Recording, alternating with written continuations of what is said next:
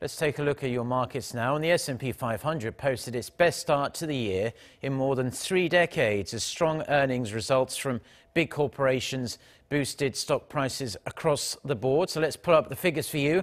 The Dow Jones Industrial Average edged down less than 0.1% to just under 25,000. The S&P 500 jumped almost 0.9% to 2704. The Nasdaq added around 1.4% to 7,281.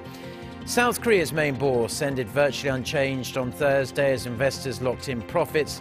The benchmark Kospi edged down around one point, as you can see, to finish at just over 2,200. The tech-heavy Kosdaq added 0.2% to 717.